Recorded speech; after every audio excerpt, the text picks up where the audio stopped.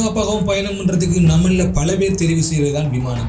ஆனால் அந்த விமானத்தினுடைய விமானிகள் வர்ற சின்ன ஒரு மிஸ்டேக்னால மிகப்பெரிய விபத்துக்கள் எல்லாமே நடந்திருக்குது. அந்த மாதிரி ஒரு விபத்து தான் ஆயிரத்தி தொள்ளாயிரத்தி எழுபத்தி நாலு ஒன் நைன்டி செவன்டி ஃபோர்ல இலங்கையில் நடக்குது. எந்த ஒரு பிரச்சனையும் இல்லாமல் விமானம் தரையிறங்கிடும் அப்படின்னு சொல்லி விமானத்தினுடைய விமானிகள் மற்றும் அதில் பயணம் செய்த பயணிகள் என்று எல்லாருமே நினைச்சிட்டு இருந்தாங்க. ஆனால் தரையிறங்க போற அந்த கடைசி நிமிடம் லாஸ்ட் மினிட்ல அங்கே இருந்த யாருமே கொஞ்சம் கூட எக்ஸ்பெக்ட் பண்ணாத மாதிரி அந்த விமானம் அங்க இருந்த மலையோட மோதி துண்டு துண்டாக வெடிச்சு சிதறுது. அந்த விமானத்தில் வந்த யாருமே உயிர் தப்பல உண்மையிலேயே அந்த விமானத்துக்கு அன்றைக்கு நடந்தது என்ன?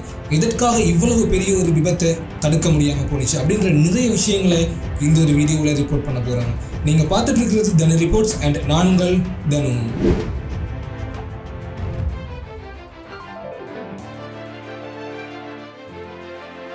அது ஆயிரத்தி தொள்ளாயிரத்தி எழுபத்தி நாலாம் வருடம். அந்த வருடத்தில் ஹஜ் பெருநாள் வந்தது டிசம்பர் மாதத்தில். அதனால அந்த மாதம் முழுவதுமே இஸ்லாமிய மக்கள் மக்காவுக்கு புனித யாத்திரை மேற்கொள்வாங்க. உலகம் முழுவதுமே இருந்து பல கோடி மக்கள் இந்த மக்காவுக்கு போறதால சில நாடுகளில் விமான தட்டுப்பாடுகளுமே ஏற்படும். அதாவது பயணிகளுக்கு சரியான முறையில் விமானத்தை வழங்க முடியாத ஒரு சூழ்நிலையும் ஏற்படும். இதே மாதிரியான ஒரு நெருக்கடியை தான் ஆயிரத்தி தொள்ளாயிரத்தி எழுபத்தி நாலாம் ஆண்டு இந்தோனேஷியாவினுடைய கரோடா ஏர்லைன்ஸ் எதிர்கொள்ளுது. இதை நிவர்த்தி பண்றதுக்காக டச் ஏர்லைன்ஸினுடைய துணை நிறுவனமான மார்டின் ஏர்லைன்ஸினுடைய மார்டின் ஒன் த்ரீ எயிட் அப்படின்ற விமானத்தை குத்தகை அடிப்படையில் இந்த கருடா ஏர்லைன்ஸ் இயக்கிட்டு வந்தாங்க. அது சரியா ஆயிரத்தி தொள்ளாயிரத்தி எழுபத்தி நாலாம் ஆண்டு டிசம்பர் மாதம் நாலாம் தேதி.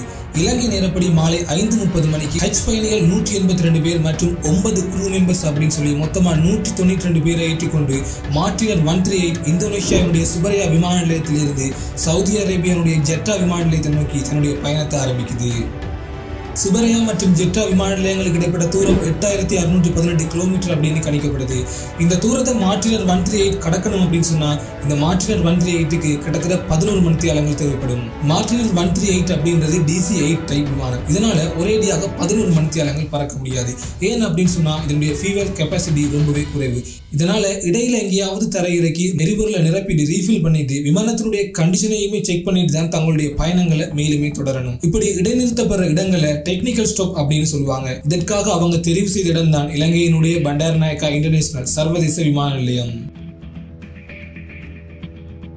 இலங்கைக்கு கிழக்கு பக்கமா விமானம் உள்நுழையும் போது சரியா ஒன்பது நாற்பத்தாறு மணிக்கு கொழும்பு ஏர் டிராபிக் கண்ட்ரோலை தொடர்பு கொண்டு நாங்க இப்போ முப்பத்தையாயிரம் அடி உயரத்துல பறந்துட்டு இருக்கிறோம். அதே நேரம் கட்நாயக்கா ஏர்போர்ட்ல இருந்து நூற்றி முப்பது மைல் தூரம் அதாவது இருநூற்றி பத்து கிலோமீட்டர் தூரத்திலேயும் இருக்கும் அப்படின்னு சொல்றாங்க. இதுக்கு ஏர் டிராஃபிக் கண்ட்ரோலுமே இங்கே காலநிலை ரொம்ப நல்லாவே இருக்குது. லேசான காற்றும் வீசி கொண்டு இருக்குது பத்து கிலோமீட்டருக்கும் அதிகமான விசிபிலிட்டி அதாவது பத்து கிலோமீட்டருக்கும் அதிகமான தூரத்தை நீங்கள் வெறும் கண்ணாலேயே பார்க்க முடியும் அப்படின்னு சொல்கிறாங்க அந்த நேரத்தில் கொழும்பு ஏர் டிராஃபிக் கண்ட்ரோல் கிட்ட விமானத்தினுடைய சரியான லொக்கேஷனை கண்டுபிடிக்கிறதுக்கு எந்த விதமான வசதிகளுமே கிடையாது. விமானத்தினுடைய விமானிகள் கூட டொப்ளர் கருவியை பயன்படுத்தி கட்டுநாயக்கா விஓஆர் ஊடாகத்தான் தங்களுடைய லொக்கேஷனையும் இங்கே சொல்லிட்டு இருக்கிறாங்க. இலங்கையோட மையப்பகுதிக்கு இரவு பத்து நாலு மணிக்கு விமானம் வருகை தருது. சரியா பத்து எட்டு மணிக்கு விமானத்தை விமானிகள் தங்களுடைய அப்ரோச் கண்ட்ரோல் மெத்தடுக்கு மாத்துறாங்க. இதுக்கப்புறமா கட்டுநாயக்கா அப்ரோச் கண்ட்ரோல் டவர் இன்சார்ஜை தொடர்பு கொண்டு நாங்க கட்டுநாயக்கால இருந்து பதினாலு மைல் தூரம் அதாவது இருபத்தி மூன்று கிலோமீட்டர் தூரத்திலேயும் ஆறாயிரம் அடி தொடக்கம் எண்ணாயிரம் அடி வரையிலான தூரத்திலேயுமே பறந்துட்டு இருக்கிறோம். ஸோ எங்களுக்கு நிலமட்டத்திலிருந்து எண்ணாயிரம் அடி வரையிலான வான்பரப்பை வெறுமைப்படுத்தி வச்சிருக்கும்படியும் சொல்லுறாங்க. அந்த நேரத்துல கட்டுநாயக்க ஏர்போர்ட்ல எந்த ஒரு ரேடர் கருவியுமே இல்லாத காரணத்தால விமானிகள் சொல்ற இந்த தரவுகள் எல்லாமே சரி அப்படின்னு எடுத்துக்கொண்டு விமானத்தை இரண்டாயிரம் அடி வரை கீழே இறக்குங்க. அப்படி இறக்கும் போது உங்களுக்கு கட்டுநாயக்க விமான நிலையத்தினுடைய நான்காவது ரன்வே தெரியும். அந்த நான்காவது ரன்வேல உங்களுடைய விமானத்தை தரையிறக்குங்க அப்படின்னு சொல்றாரு. இதுதான் டவர் இன்சார்ஜ் கடைசியா விமானத்தோட தொடர்பு கொண்டது. இதுக்கப்புறமா மார்டினர் ஒன் த்ரீ எயிட்ல இருந்து எந்த ஒரு இன்ஃபர்மேஷனுமே டவர் இன்சார்ஜுக்கு கிடைக்கல.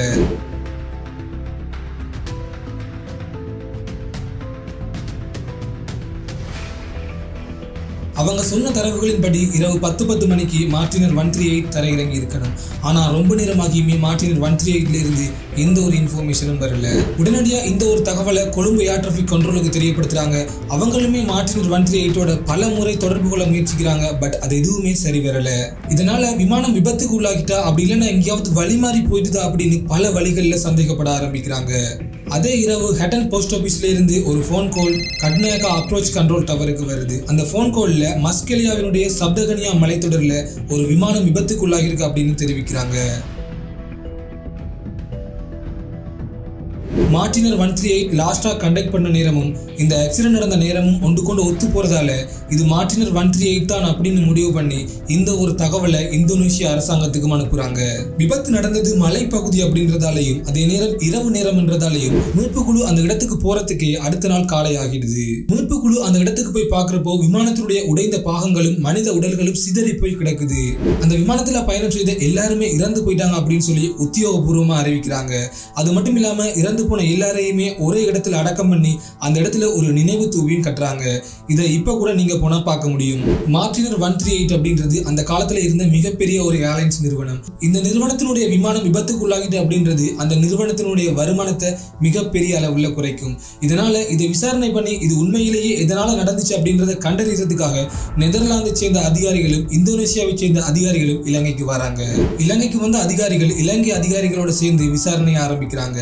விசாரணை விசாரணையுடைய முதற்கட்டமா இந்த சம்பவத்தை நேர்ல பார்த்தவங்க கிட்ட வாக்குமூலத்தையும் பதிவு செய்யறாங்க அப்படி இந்த சம்பவத்தை நேர்ல பார்த்த ரணசிங்க அப்படின்றவர் என்ன சொல்றாரு அப்படின்னு சொன்னா விமானம் யூஸ்வலா பறக்கிற ஹைட்டை விட பதிவாக பறந்து கொண்டிருந்ததாகவும் விமானத்தினுடைய ஒரு பக்க இறக்கை அந்த மலைப்பகுதியில முற்றப்போ விமானம் மறுபடியும் மேல எழும்புறதுக்கு ட்ரை பண்ணிச்சு. அந்த நேரத்துல சப்தகனியாவுடைய ஐந்தாவது மலைக்குன்றுல மோதி விமானம் விபத்துக்குள்ளானுச்சு அப்படின்னு சொல்லியிருப்பாரு. இந்த ஆக்சிடென்ட்டை என்கொயரி பண்ண அதிகாரிகளுக்கு இதுதான் மிகப்பெரிய சந்தேகமே. எதற்காக மார்டினர் ஒன் த்ரீ எயிட் இந்த பகுதியில் பதிவாக பறக்கணும்? இதற்கான காரணத்தை தேடுற போதான் சப்தகனியா மலைத்தொடருக்கு அருகிலேயே லக்ஸபனா நீர்த்தேக்கம் இருக்கிறத கண்டுபிடிக்கிறாங்க. அதே நேரம் விபத்து நடந்த நேரத்தில் இந்த லக்ஸபனா நீர்த்தேக்கத்தினுடைய மின் குமிழ் லைட்ஸ் எல்லாமே போடப்பட்டு இருந்துச்சு அப்படின்ற உண்மையும் தெரிய வருது. ஸோ இங்கே இருந்த லைட்ஸ் எல்லாத்தையுமே பார்த்த விமானி இது கட்னா கயாபுட்டினுடைய ரன்வே அப்படின்னு நினைச்சு விமானத்தை தரையிறக்க ட்ரை பண்ணியிருக்காரு. அப்படி தரையிறக்கிறப்போ விமானத்தினுடைய ஒரு பக்க இறக்கை அங்கே இருக்கிற மலைக்குண்டில் மோதி இருக்குது. இதை பார்த்த விமானி மறுபடியுமே விமானத்தை மேலே ஒழுப்ப ட்ரை பண்ணுறப்போ அங்கே இருந்த ஐந்தாவது மலைக்குண்டில் மோதி விபத்துக்கு உள்ளாகி இருக்கும் அப்படின்னு சொல்லி ஒரு தியரியை சொல்கிறாங்க ஆனால் இது அவங்களுக்கு முழுமையாக ஏற்றுக்கொள்கிற மாதிரி இருக்கலை. ஏன் அப்படின்னு சொன்னா மார்டினர் ஒன் த்ரீ எயிட்டோட சீஃப் பைலட் ஹென்ரிக் லாமேக்கு இருபத்தி ஆறாயிரத்தி எழுநூற்றி எழுபது மணித்தியாலங்கள் ஃபிளையிங் எக்ஸ்பீரியன்ஸ் இருக்குது. அது மட்டும் இல்லாம டிசி எயிட் டைப்ல மட்டும் நாலாயிரம் மணித்தியாலங்களுக்கும் அதிகமான ஃபிளையிங் எக்ஸ்பீரியன்ஸ் இருக்குது. இது எல்லாத்தையுமே விட மிக முக்கியமான விஷயம் ரெண்டாம் உலக மகா யுத்தத்துல இலங்கையில விமானியாகவும் வேலை பார்த்திருக்காரு. ஸோ ஃப்ளைட் அப்ரோச் கண்ட்ரோல் மெத்தடுக்கு மாற்றப்பட்டாலுமே ஹென்ரிக் லாமியால விமானத்தை சரியான முறையில் தரையிறக்கி இருக்க முடியும். அதே நேரம் இதுக்கு முதல்ல கட்னா ஏர்போர்ட்ல லேண்ட் பண்ண அனுபவமும் இவருக்கு இருக்குது.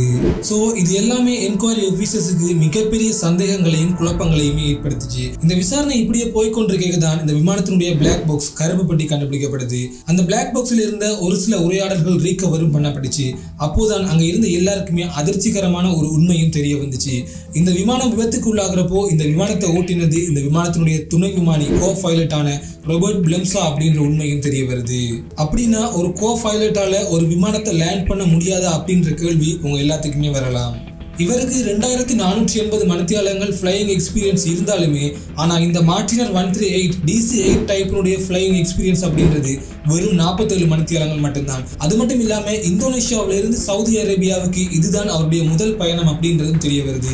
ஸோ அவ்வளவு அனுபவம் இல்லாமல் இந்த விமானத்தை ஓட்டுனது தான் இந்த விபத்துக்கான ஒரு காரணமாகவும் இருக்கலாம். மார்டினர் ஒன் த்ரீ எயிட்டோட டொப்ளர் கருவி இரவு பத்து எட்டுக்கு ஏர்போர்ட்ல இருந்து இருபத்தி மூன்று கிலோமீட்டர் தூரத்தில் பறக்கிறோம் அப்படின்னு சொல்லி ஒரு தவறான வாசிப்பை காட்டியிருக்கும். ஸோ கோ பைலட்டான ரோபர்ட் பிளம்சாவுக்கு அவ்வளவு அனுபவம் இல்லை. ஸோ நாங்கள் விமான நிலையத்துக்கு ரொம்பவே கிட்ட வந்துட்டோம் அப்படின்னு சொல்லி லக்ஸபானா நீர்த்தேக்கத்தை பார்த்த இவர் இதுதான் ஏர்போர்ட் அப்படின்னு நினைச்சு விமானத்தை தரையிறக்க ட்ரை பண்ணியிருக்காரு.